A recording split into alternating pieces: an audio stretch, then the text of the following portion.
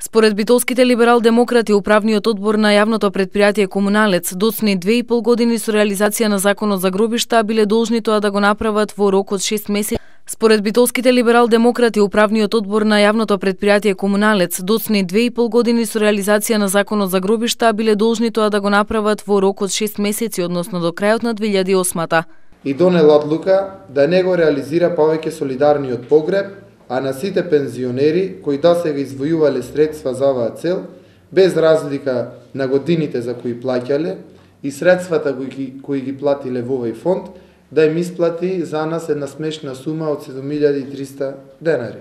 Прашаа како се одредила оваа сума на пари.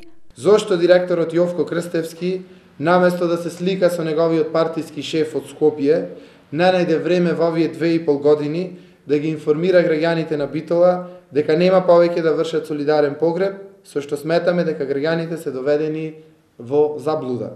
Ја определиле цената од 7300 денари, кога таа не ги покрива ни најосновните трошоци за погреб, кои што граѓаните кажуваат дека се движат помеѓу 14 и 20 илјади денари. Што ќе биде со разликата на средства кои граѓаните ги имаат уплатено во комуналец, а сега со ова одлука сакаат овие средства да ги присвоат практично.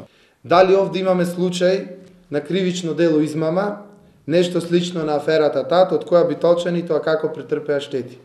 Милевски праша дали инспекциските служби го предупредиле комуналец да се прилагоди на новиот закон. За да биде целата иронија поголема, комуналец ги повикува граѓаните писмено да го раскинат договорот, а ако не го сторат тоа и понатаму во сметките ќе добиваат ставка за солидарен погреб. ЛДП ситуацијата ја оцени како изигрување и одземање на парите од и така сиромашните граѓани ја прашаа власта дали некој ќе сноси одговорност, излегува и со предлог мерки. Комуналец да им ја врати целокупната сума на граѓаните кои досега ја имаат платено, зголемена за каматата која граѓаните ќе ја добија доколку парите ги вложија во некој од македонските банки. Доколку не се во состојба веднаш да ги вратат парите, комуналец тоа предлагаме да го изврши на рати во оваа таковна година.